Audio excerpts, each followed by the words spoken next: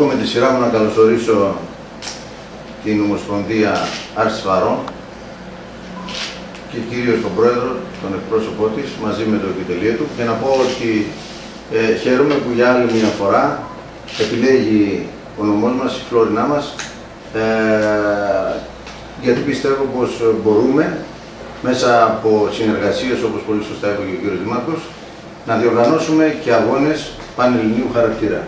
Νομίζω ότι έχουμε δώσει εξετάσεις και πήγαμε καλά.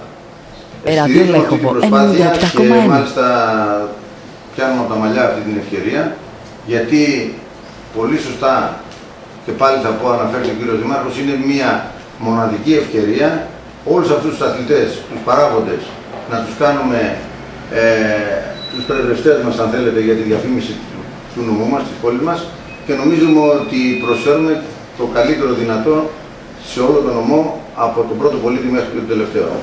Και εμείς ως ΠΕ Φλόρινας, Περιφερειακής Ενότητα Φλόρινας, στηρίζουμε αυτή την προσπάθεια με τις δυνάμεις που μπορούμε, τις οικονομικές πάντοτε.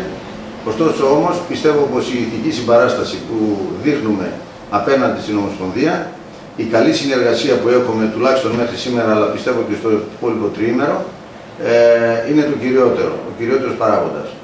Εγώ καλωσορίζω και πάλι όλους τους αθλητές, όλους τους παράγοντες.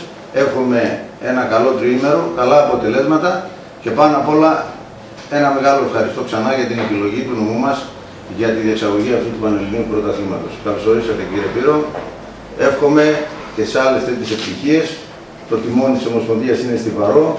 Το κρατάτε καλά, καλή δύναμη και να πάρετε τα καλύτερα από το νομό μας και να τα πατήσετε.